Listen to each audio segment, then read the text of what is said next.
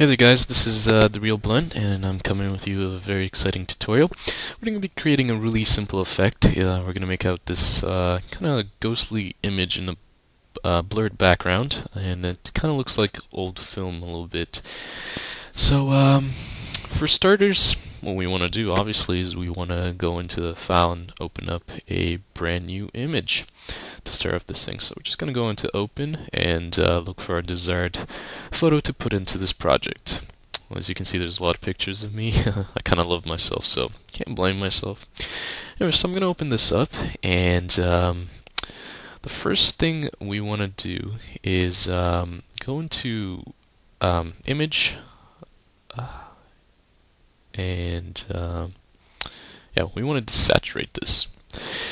So after uh, we desaturate, um, I like doing this. I like going over to image adjustments, putting auto contrast, auto color, and auto levels. The color part is not really needed since the black the image is already black and white.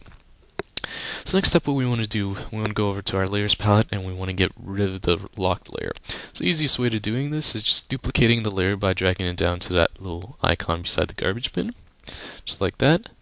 Sorry, I created this by accident. And um, we want to take the locked layer and just we can just delete it. We don't need it anymore. Just drag it over to the uh, garbage bin. Okay, perfect. So the next step, what you want to do is you want to isolate um, the person in your picture. And I'm doing this um, with the magnetic lasso tool, which is personally the easiest tool to use. Um, you know, you can take your time and uh, make this a little more perfect, but for time's sake, I'm just going to do this real fast. So I'm just going to go around uh, as quick as I can and um, outline the body. Do, do, do, and we're almost done, and the effect itself is we're pretty much halfway there. It's not a very hard or long effect to achieve. Just finishing up at the bottom. And now what we want to do, we want to add in that blur effect. Um, to do so, since we selected our body, we want to inverse that and select everything but our body. So we do that by hitting Control Shift I on your keyboard. But first I want to just fix up the little patches I left out. Um, to fix your mask, all you have to do is press shift and just select one of the um, selection tools and just kind of, you know, fill it back in if you missed out a big chunk. But the rest isn't all too important since we're going to be blurring the image anyways.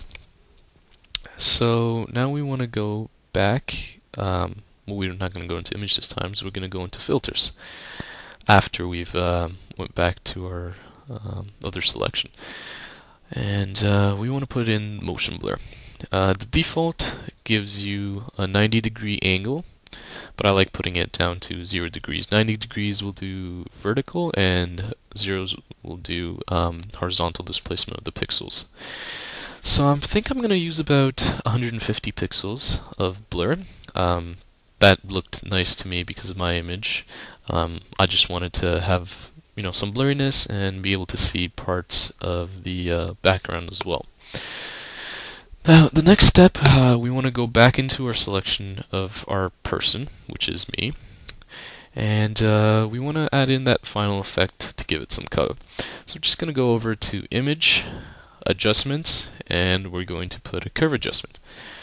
And once we open up our curves adjustment, um, we're just going to play with all the different channels, RGB, red, green, and blue. And we're just going to make slight S-shaped curves just like this, which will colorize our selection. And once we have put all the different colors, we're pretty much done. And this is the exact same effect that I had before. I hope you enjoyed this tutorial and uh, stay tuned for new tutorials. And don't forget to comment, rate, and subscribe. Thanks!